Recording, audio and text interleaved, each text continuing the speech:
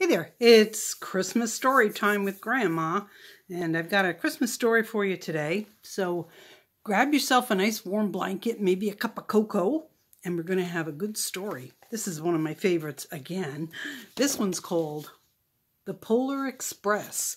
It's a Caldecott winner, and it's, let's see,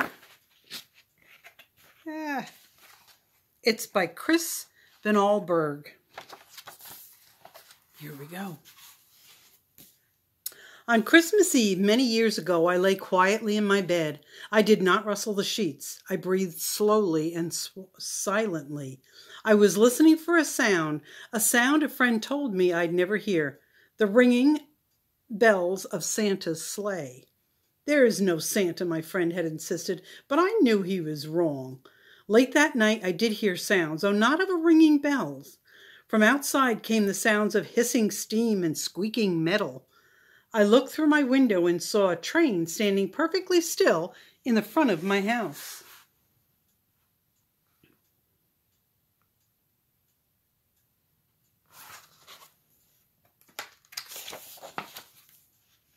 It was wrapped in an apron of steam. Snowflakes fell lightly around it. A conductor stood at the open door of one of the cars.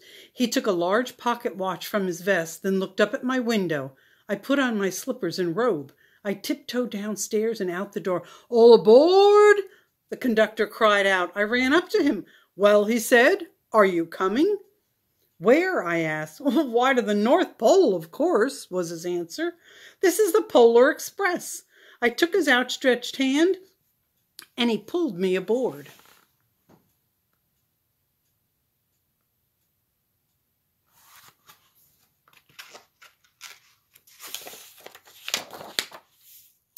The train was filled with other children, all in their pajamas and nightgowns. We sang Christmas carols and ate candies with nougat centers as white as snow. We drank hot chocolate as thick and rich as melted chocolate bars. Outside, the lights of towns and villages flickered in the distance as the Polar Express raced northward.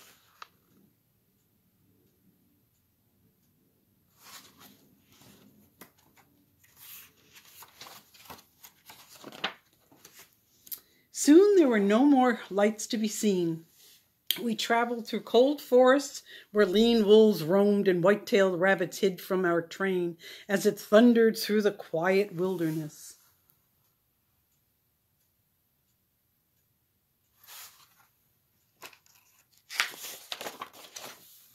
We climbed mountains so high it seemed as if we would scrape the moon. But the Polar Express never slowed down. Faster and faster we ran along, rolling over peaks and through valleys like a car on a roller coaster.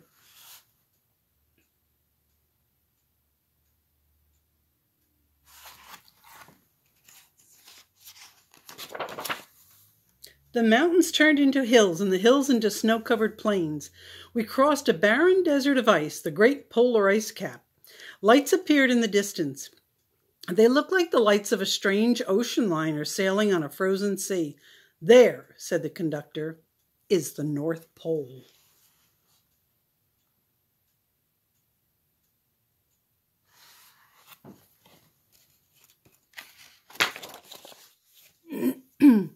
The North Pole. It was a huge city standing alone at the top of the world, filled with factories where every Christmas toy was made. At first, we saw no elves. At, they were gathering at the center of the city, the conductor told us. That is where Santa will give the first gift of Christmas. Who receives the first gift? We all asked. The conductor answered, He will choose one of you.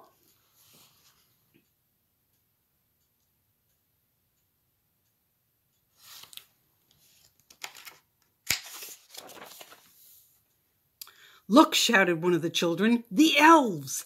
Outside we saw hundreds of elves. As our train drew closer to the center of the North Pole, we slowed to a crawl. So crowded were the streets with Santa's helpers. When the Polar Express could go no further, we stopped and the conductor led us outside.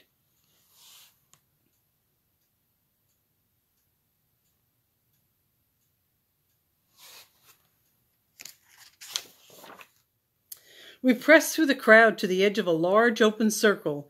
In front of us stood Santa's sleigh. The reindeer were excited.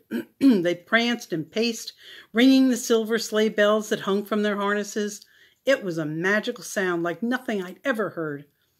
Across the circle, the elves moved apart and Santa Claus appeared. The elves cheered wildly. He marched over us and pointing to me said, Let's have this fellow here. He jumped onto his sleigh. The conductor handed me up. I sat on Santa's knee and he asked, Now, what would you like for Christmas?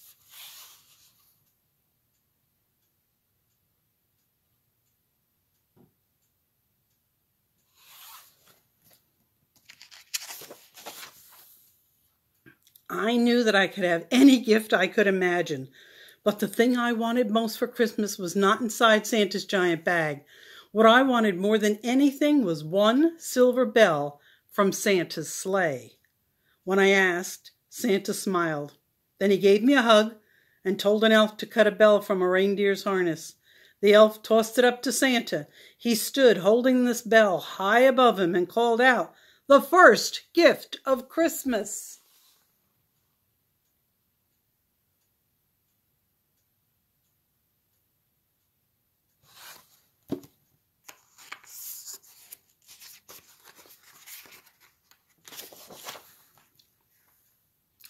Clock struck midnight as the elves roared their approval.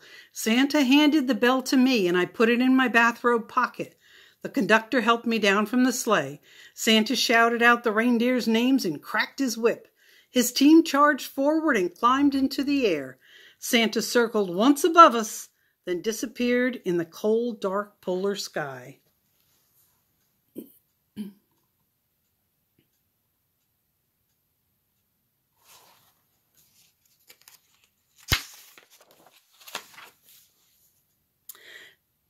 As soon as we were back on the inside the Polar Express, the other children asked to see the bell.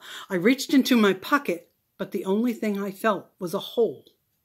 I had lost the silver bell from Santa Claus's sleigh. Let's hurry outside and look for it, one of the children said.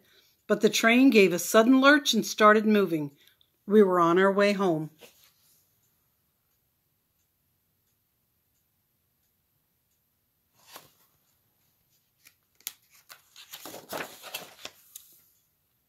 It broke my heart to lose the bell. When the train reached my house, I sadly left the other children. I stood at my doorway and waved goodbye. The conductor said something from the moving train, but I couldn't hear him. What? I yelled out. He cupped his hands around his mouth. Merry Christmas! he shouted. The Polar Express let out a loud blast from its whistle and sped away.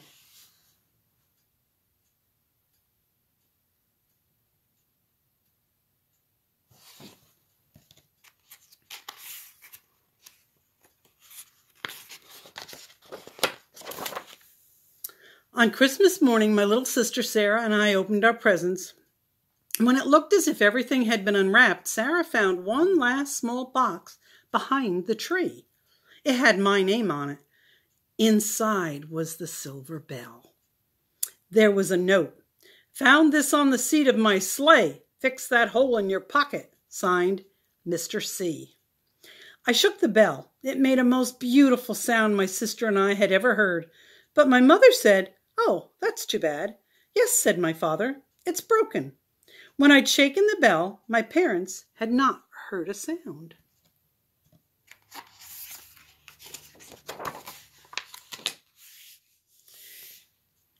At one time, most of my friends could hear the bell, but as the years passed, it fell silent for all of them.